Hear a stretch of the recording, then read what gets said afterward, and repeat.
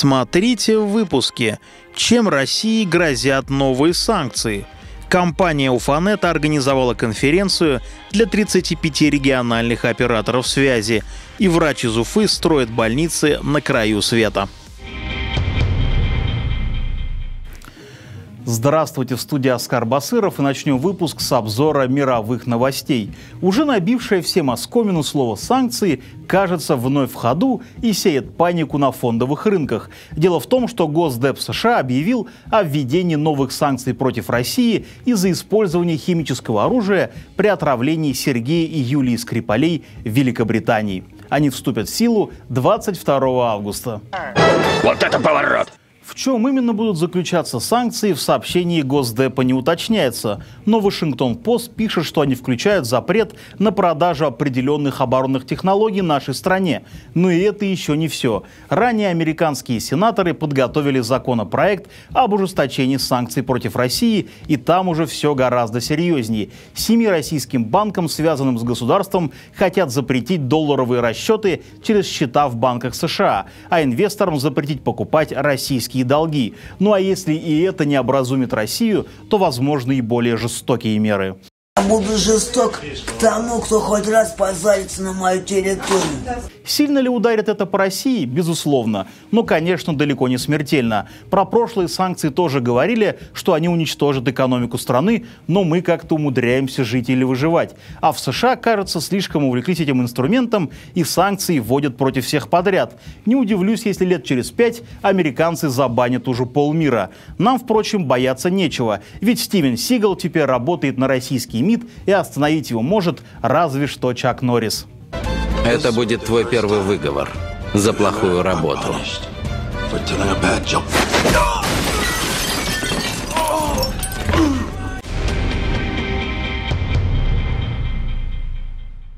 раз, когда мы шли в душ, то есть у нас была такая душевая палка, то есть ты такой подходишь, такой хоба-хоба, проверил так, где мыло лежит, ну, такая змея такая щик-щик-щик уползлась, и такие, ладно, можно помыться. Уже несколько лет Виктория Валикова спасает людей в самых бедных странах мира. Врач-инфекционист окончила Башкирский медицинский университет и Бельгийский институт тропической медицины. Потом Виктория работала на Гаити в Гондурасе. А в Гватемале наша землячка организовала сбор денег на постройку бесплатной клиники для бедных и достигла цели. Часто очень спрашивают, на что живет ваша клиника, откуда у вас появляются деньги, там строить, кого-то лечить там все это покупать, оборудование. Мы в основном живем за вот э, счет таких э, частных ребят, то есть частных лиц, как вы, да, то есть там нам люди присылают там кто по 100 рублей, кто по 1000, кто по 2. Врачи работают с 8 утра и до самого заката. В день они принимают больше 100 пациентов. Но ни один сотрудник клиники не получает зарплату. И витаминов тоже. Еда в Гватемале скудная и однообразная. Мясо дорогое, мясо покупать э, не хватает денег. Курица она когда есть, когда нет, он тоже достаточно дорого стоит, намного дороже, чем у нас здесь в Башкирии. То есть яйца тоже, поэтому вот на местном питании сама, мне кажется, большая проблема – это получать достаточное количество витаминов и не располнеть. Еще одна проблема, которая встала перед командой медиков – языковой барьер. Жители Гватемалы говорят на испанском языке, а волонтеры и врачи на английском и русском. На помощь пришли испаноговорящие волонтеры, которые учили языку новых сотрудников клиники. Мы специально написали курс, специально использовали имена, которые у нас в деревне, медикаменты, которые у нас в клинике есть, оборудование и ситуации, которые у нас каждый день происходят, чтобы ребята были подготовлены вообще на все сто процентов и э, не было ситуации, когда врач приезжает, и он не знает, как с пациентами общаться. Новый смелый план Виктории – строительство больницы в Никарагуа. Приступить к работам планируют осенью этого года. Для этого необходимо собрать более 2 миллионов рублей. На сегодняшний день проект набрал 400 тысяч. Помочь жителям Никарагуа можно на сайте gofundme.com. Андрей Шарыгин, Эльдар Каюмов, городской телеканал ЮТВ. Как предоставить жителям частного сектора высокоскоростной интернет и цифровое телевидение, да еще по доступной цене? Ответы на эти вопросы есть у компании Ufanet, которая подключает абонентов по современной технологии PON. PON расшифровывается с английского Passive Optic Network, пассивная оптическая сеть. Ее преимущество в том, что мы от нашего узла связи, который находится в поселке, он один, как правило, напрямую конкретному абоненту дотягиваем оптическое волокно, без каких-либо промежуточного, какого-либо промежуточного оборудования, переприемов там, электрических каких-то устройств. Эта технология позволяет достаточно быстро подключать жителей сельской местности и частного сектора города к скоростному интернету и цифровому ТВ. Каждому дому подводится персональный оптический кабель, по которому идет сигнал. Ни погода, ни рельеф местности, ни перегруженность сети не повлияют на качество услуг. Технологии ПОН компания Уфанет охватила уже 200 тысяч частных домов в России. Мы начали два года назад, у нас не очень получалось. Потом мы начали вот внедрять всякие усовершенствования. И где-то вот э, с начала 2018 года у нас то, что называется, поперло, потому что э, множество технических интересных решений мы применяем, и у нас здорово все идет, мы достаточно быстро, качественно, относительно дешево все это делаем. Уфанет организовал двухдневную конференцию для 35 провайдеров со всей России, чтобы рассказать о современных технологиях и о своих разработках. Все эти компании входят в Ассоциацию региональных операторов телесвязи «Ростелесеть». Мы всю Россию не сможем закрыть своими сетями. Там, где мы есть, мы закроем, а там, где нас нет, будет жалко, если э, это останется без хороших, качественных услуг связи. Поэтому мы зовем операторов, тех, с которыми мы не конкурируем, и рассказываем о своих технологиях технологиях, чтобы они освоили эти технологии и стали подключать клиентов. Компания Фонет является лидером на российском рынке среди региональных участников. В данном случае мы собрались для того, чтобы они поделились некими передовыми технологиями, которые очень часто маленькие операторы не могут осуществить, проверить, оценить. А здесь ну, такая возможность поделиться техническими решениями, инновациями. Это очень ценно для небольших компаний компании. Перед участниками конференции, а это около 70 человек, выступили руководители служб и отделов компании «Уфанет». Они рассказали об этапах и принципах строительства сети, технологии обследования и проектирования. В свою очередь, представители операторов связи рассказали здесь о том, что их волнует. У меня много вопросов. Как сделать, чтобы сети э, были качественнее, чтобы они были дешевле для абонента, чтобы услуга была более стабильной для абонента. Ну и, опять же, чтобы как можно больше услуг можно было предоставлять людям в частном секторе. У нас компания не такая большая, а у Фанет очень большая компания, у которой собственные разработки, собственные какие-то шкафы, оборудование, то есть э, много очень ноу-хау. То, что я услышал здесь, это снижение, ну, я так думаю, процентов на 50 даже будет строительство и гораздо дешевле обслуживание. Достаточно много нового узнал.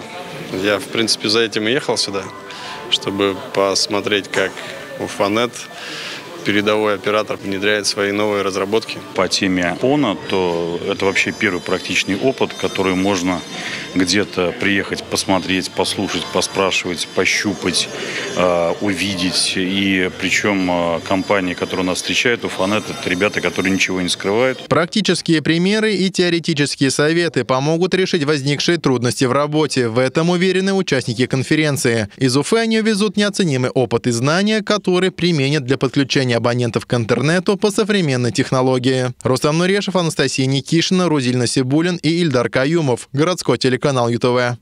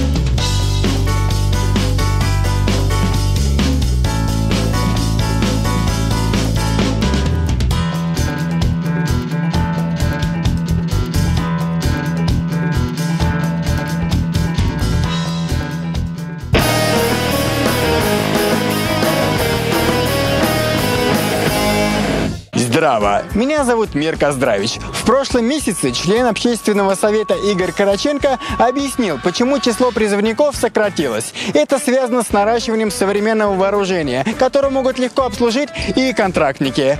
Контрактная армия или обязательная? Что об этом думают уфимцы? Давайте узнаем прямо сейчас. Погнали! Нужна ли служба в армии? Конечно, нужна. Конечно. У всех есть, а у нас что не будет? Наверное, да. В каком-то количестве, конечно, да, но не в том, в котором сейчас государство ее поддерживает. А для чего она нужна? Чтобы пугать. Население внутри или внешних врагов? До призывную. Для воспитания молодежи. Обращение с оружием. Для престижа, для силы, для мощи России. Защищает родину. Там есть дисциплины, которой не хватает. Чтобы хорошую работу устроиться. Ну, наверное, мужество, наверное, какое-то. Для того, чтобы мужиками были. А вы сами служили? Сам нет. Чтобы солдаты землю толкали, спасали от этого, от апокалипсиса. Угу. Когда вдруг будет метеорит падать, они ее оттолкнут с орбиты. Угу. И все, мы все живы будем. Это надо, надо знать наших героев. Мне 18. Армия уже близко? Да, близко. Собираетесь в армию? Да. Вы прям хотите в армию? Ну нет. Хотели бы в армию? Нет, не думаю. Хотели бы, чтобы ваш молодой человек ушел в армию? Да, хотела бы. Но у меня вся семья полицейских и военные. Hello, darkness, my old friend. Приходят туда все нормально, а выходят такие быдловатые какие-то. Их там учат материться, э, доставать деньги на сигареты каждый день, что очень трудно, между прочим. Есть какой-нибудь пример у вас знакомый, допустим, пошел в армию, вернулся вот другим человеком? Да. Никак не изменились. Они были хорошие люди, остались хорошие люди. Лучше изменились. То есть все-таки что-то она там делает с ними. Такой типа... Да, речи у него пропал. Он начал материться через слово. А какая нужна служба? По контракту или вот обязательный призыв? И обязательно нужна и по контракту. И по контракту тоже. Обязательно. Обязательно. Обязательно, наверное. Обязательно. Об- обязательно по контракту. Наверное, по контракту хорошо бы. Но если бы она была добровольная, то да. Контрактная система лучше. Да. Я согласна с молодым человеком. Люди должны добровольно делать выбор. Кто-то хочет защищать родину, а кто-то хочет, ну, строить дома. Если из-за денег, то все-таки хоть какой-то стимул у них есть. А когда вот так это вот забирают, и они ныкаются, ныкаются, не доныкаются, и потом сидят, «А, я в армию пошел. Все силы в срочниках. Вот. Они землю могут толкнуть и покопать ее могут. А вот чем вы занимались в армии, если вот не секрет? Стрелял и землю толкал. Это не вы виноваты, что вот она немножко с орбиты сместилась. Там в Америке ураганы, между прочим. Меня не взяли. Ты, говорит, слишком маленький, и ты много лопат не кинешь. А российской армии нужны какие-нибудь дополнительные, дополнительный род войск какой-нибудь? Рот? Рот? Нет, в армии хватает, нормально все с этим как бы. Все войска сбалансированы. Всех достаточно. Стройбат надо вернуть, и все будет в ажуре. А может что-нибудь посовременнее нужно вот нашей армии? А, мега стройбат. Нано-лопатами. За техникой не угонишься. Ну, IT-технологии же развиваются, хакерство в любом случае присутствует. Хак хакеры, не хакеры, да? Хакеры, не хакеры, так и называются. Вот хак- э, с хакерами, не хакерами борьба. Кибервойска, что ли? Интернет-бойцы А нужны. Counter-Strike Стрелять умеешь? Конечно. Вообще-то да, мы отлично стреляем. Чемпионы Call of Duty. И Modern Warfare тоже. Видеоигры. Когда-нибудь, наверное, придем к тому, что будет за нас воевать роботы из Boston Dynamics. И будет говорить там кожаные ублюдки. Кожаные ублюдки. Вы что хотите на войну? При Сталине было лучше. Надо женщин брать. Бобр. Бабский отряд быстрого реагирования. Мне кажется, не стоит ей ходить. Чисто в конторе сидеть где-нибудь там. Ну, связистом, в крайнем случае, быть. Они же за равноправие боролись, за хай служат теперь. Нашей армии, мне кажется, не хватает, чтобы люди, правда, занимались делом в армии, а не страдали фигней. Ну вот и все. Результаты опроса вы видите на экране. А меня зовут Мир Коздравич. До скорых встреч.